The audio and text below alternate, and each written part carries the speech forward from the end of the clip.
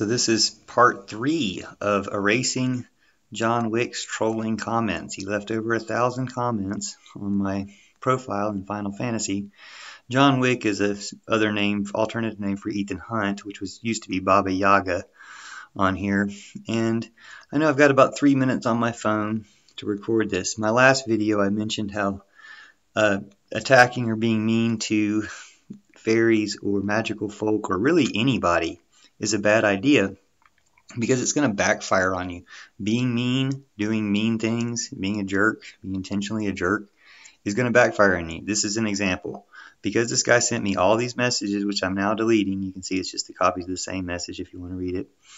Um, this one's from 36 days ago. Ironic, the last one was from 18 days ago. This one's from 36 days ago. So it's just happening to fall into this magical pattern of 18 days between this guy sending me hundreds of, putting hundreds of comments on, or maybe it's a troll farm and every 18th day is somebody's, somebody job to troll me. It seems like the same guy on all these different accounts. But anyway, I'll be deleting this. And the reason it backfired on him is because I didn't have enough space to record any of this stuff before.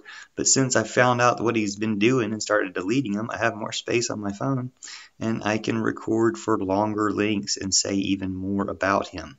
This guy is the guy who got me banned from commenting in the game by reporting something I said to the developers. I don't even know what. But he said he was going to do that. He said he would get me banned. And he did that to protect their Trump terrorist cell because they're organizing Trump terrorism on this game, Final Fantasy New Empires.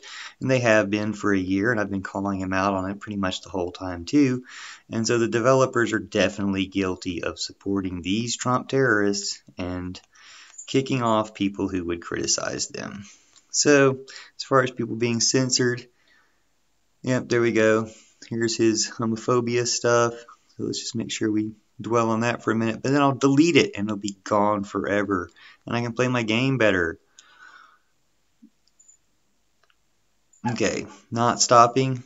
So even signs, we, we, he's using a different account, even signs his regular name. So this video is going to end and I'll do another one. But this is how it backfires on him. The more he does, the longer I'm going to have to talk about him as I delete his messages. So this one's from 48 days ago.